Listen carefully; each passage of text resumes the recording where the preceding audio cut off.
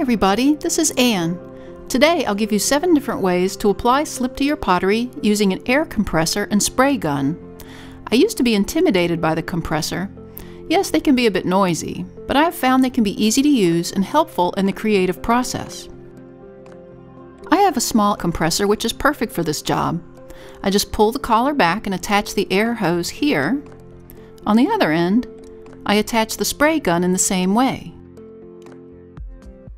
I slake down my porcelain clay by adding water until it's a buttermilk consistency, plus my choice of mason stain to create a nice slip. Stir it up really good, and then simply screw the container to the top.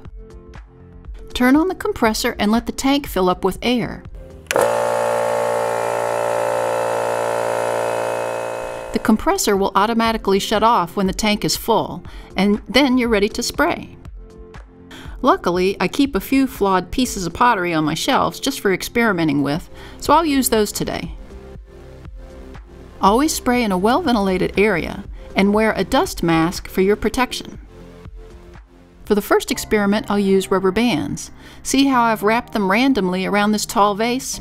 The bands will act as a resist when you spray on the slip.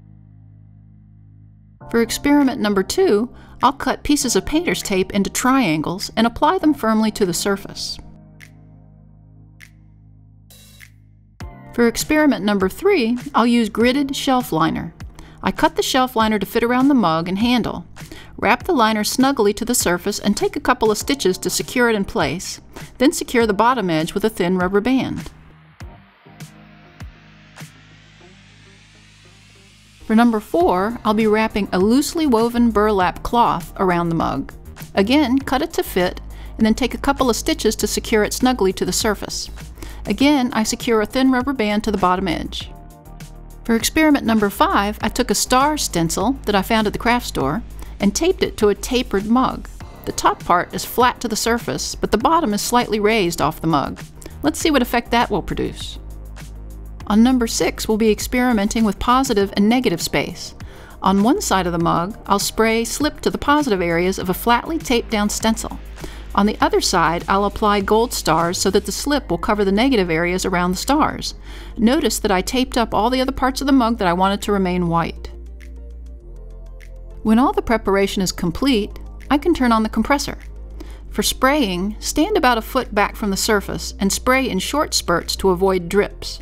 Make three passes around each piece for proper coverage.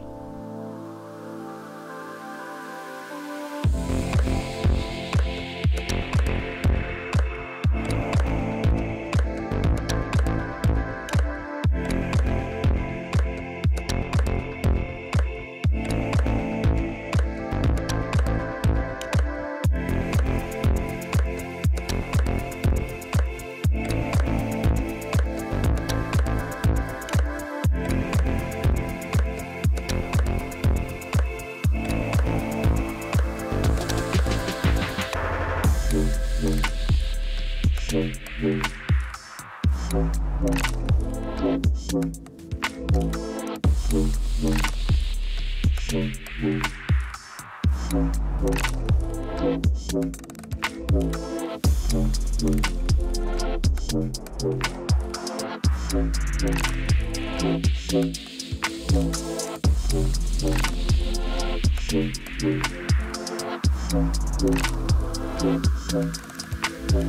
the fun part, the big reveal. First is the stencil that was not taped down completely flat to the surface. As you can see, the stars showed up well where the stencil was flat, and then as the stencil came off the surface, the stars faded into a bigger, less developed mass. It's kind of a cool effect. I wondered if the burlap would soak up the underglaze and leave unwanted deposits on the surface. But it didn't. I got a nice gridded appearance over the surface.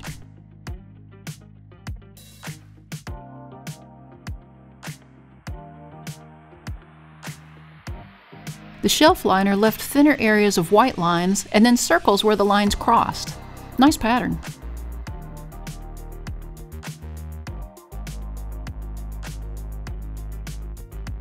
The rubber bands actually fuse to the surface under the slip. To avoid marring the surface upon removal, I cut each band off one at a time. The bands left a nice wavy appearance. Next, I carefully peeled off all the tape triangles from this mug using the end of a needle tool, being careful not to dig into the clay surface.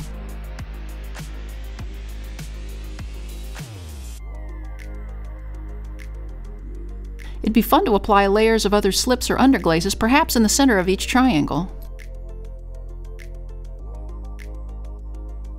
On this mug, I stripped off all the tape, then the stencil, and then gently peeled off the stars to reveal this attractive pattern.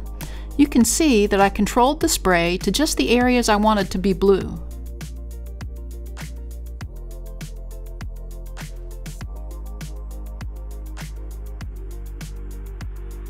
Finally, the playing card stencil came out just the way we planned. I can see where you can use an X-Acto to make your own stencil from the playing card.